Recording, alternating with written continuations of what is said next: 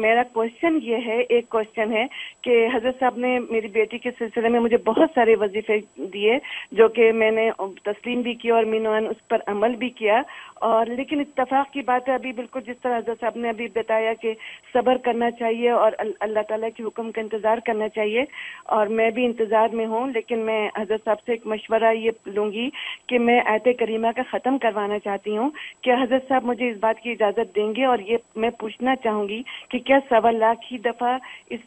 اثر ہوتا ہے کسی دعا کا؟ یا حضرت صاحب کوئی تعداد بتائیں گے؟ یا میں سوا لاکھ کروا لوں تاکہ وہ جتنا زیادہ پڑھا جائے گا آیت کریمہ تو اس کا زیادہ اثر ہوگا؟ تو جو بھی حضرت صاحب مجھے مشورہ دیں گے انشاءاللہ ان کی مرید جو ہے وہ اس پر عمل کرے گی۔ شکریہ بہت شکریہ تھینک یو جی۔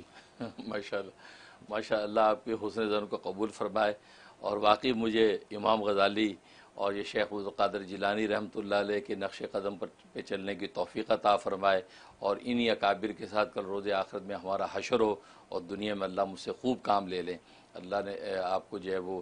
جو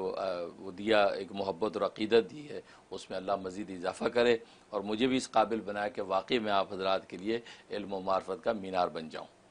اور باقی آپ نے جو سوال کیا ہے اس کے بالکل آپ بھی آیت کریمہ کا ختم کروا سکتی ہیں۔ اس میں مختلف تعدادیں اپنی اپنی